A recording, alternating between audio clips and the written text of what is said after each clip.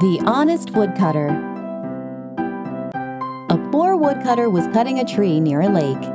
His axe slipped from his hands and fell in the water.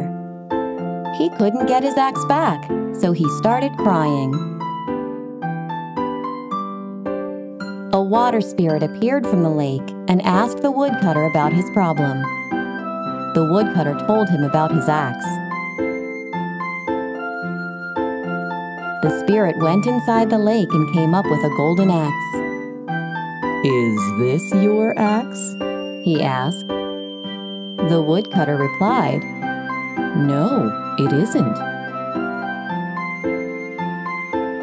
He dived again and came out with a silver axe.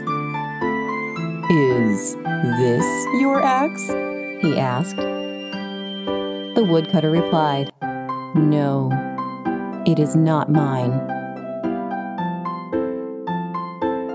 The water spirit again went inside and came out with the woodcutter's iron axe. The woodcutter was really happy to see his own axe. Yes, this is my axe, he said. The spirit was very pleased with the woodcutter's honesty. He gave the woodcutter all three axes as a reward. The woodcutter returned home and told his neighbors about what had happened. One of them was greedy and wanted the gold and silver axes. The next day, the greedy neighbor went to the same lake and threw his axe in the lake.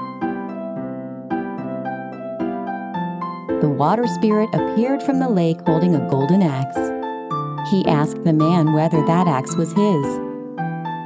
The woodcutter couldn't control his greed and said, Yes, this is my axe. The spirit knew he was lying. He took the golden axe and vanished inside the water. The greedy man lost his only axe. He had learned his lesson. Moral of the story Honesty is the best policy.